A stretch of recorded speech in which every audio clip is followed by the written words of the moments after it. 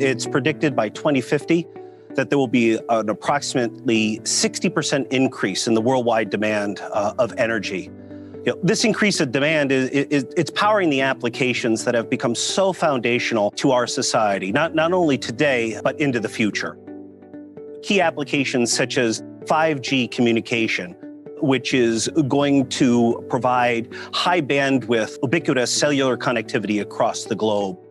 Data centers, which are the backbone of cloud computing. Electric vehicles, which, which hold the promise of reducing worldwide CO2 emissions. And let's not forget our industrial infrastructure and the overall push to renewable energy. All of these systems are becoming more efficient, cleaner, and overall more configurable. There is one common thread through all of these applications the need to create a more sustainable solution that consumes less energy. And really, power semiconductors are central to that goal.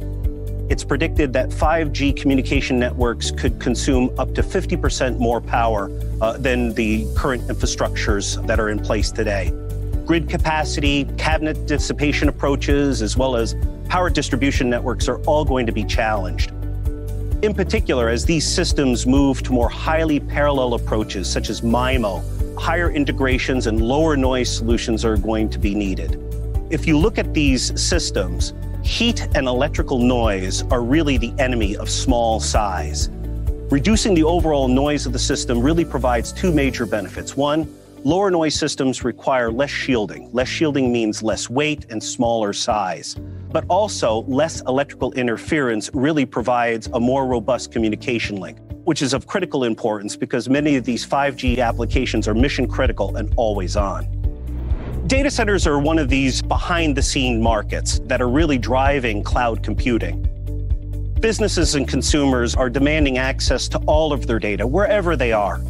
If you look at these data centers, they must securely store and process all of this cloud data cooling and electricity costs continue to be a significant part of the operational expense of running a data center. So that always makes a constant re examination of all of the thermal and power management techniques that are employed. These data centers, they contain densely packed racks of boards that need to operate at peak efficiency. If you look at the challenges within those boards, you need to have a complex power solution that can deliver up to a kilowatt of, of power to these next generation processors. When I look at the innovations in power, they, they typically follow four primary vectors higher efficiency, but also equally important is smaller size, lower noise, and better system intelligence. Better system intelligence means that we are effectively better managing and controlling the power system in order to drive to peak efficiency. But all of that technology is, is just a starting point. You know, we have to make it easier for power systems designers to bring these innovations to the market so we can reach that goal of a sustainable future.